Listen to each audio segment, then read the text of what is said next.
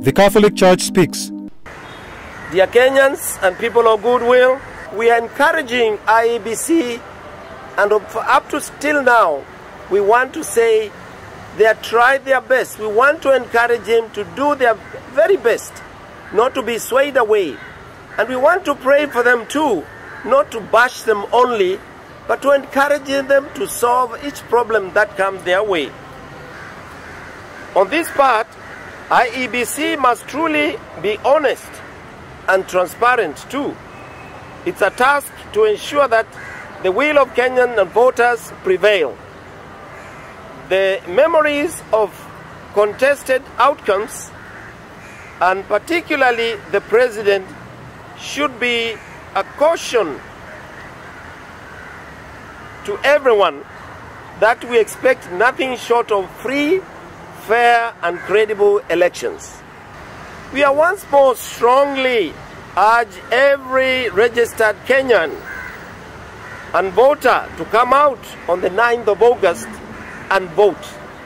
Voting is, is not only a right, but is your responsibility. If we get the wrong leaders because you didn't vote, we challenge you. You are putting us into trouble. It is also allowed to demand leadership, service delivery. We, in this way, contribute to making our country better place by de de determining the qualities of our leaders. Only one candidate will win, especially all those posts where you need one person.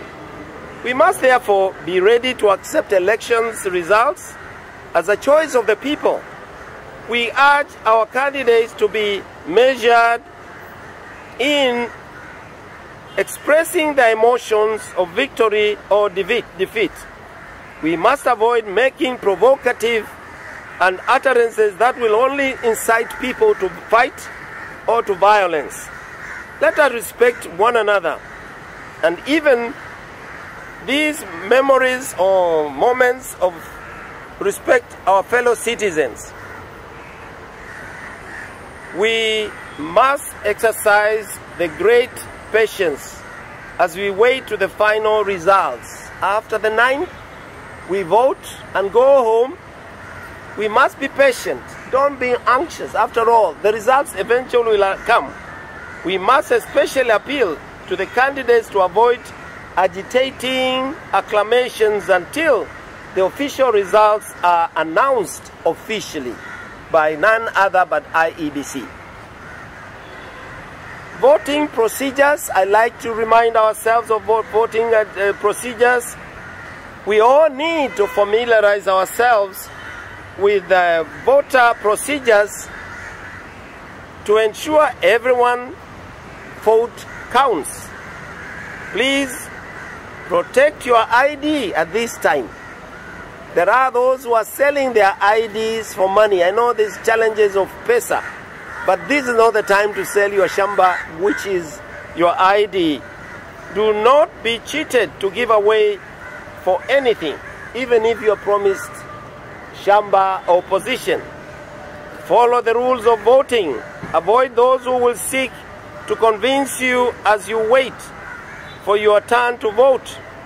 Voting is done by placing an X, and I repeat, placing an X and mark on the ballot paper next to the preferred candidate and placing the ballot paper which is stamped in the right box they are, color, they are colored in the right, right color box of that choice you are making.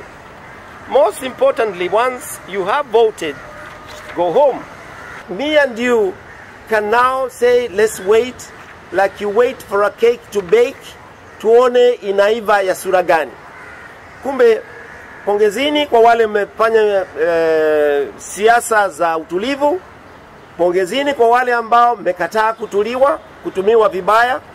Pongezini kwa wale ambao mmeamua mimi nitapigia kura fulani na sihitaji kushinikizwa kwa pesa au kwa njia yoyote nyingine ile we need to be peacemakers as we vote count the votes and transmit the results and at the end of the whole election process all of us will be winners by how we conduct ourselves and keep the peace.